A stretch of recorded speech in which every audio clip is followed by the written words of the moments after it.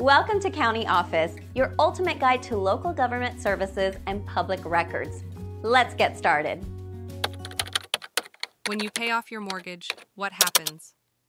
Once you pay off your mortgage, you'll receive a satisfaction of mortgage document indicating your loan has been fully repaid.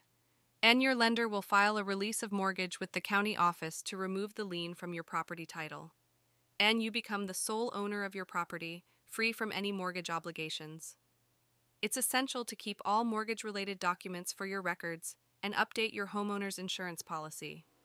And consider consulting a real estate attorney to ensure all legal aspects are properly handled after paying off your mortgage. Ein.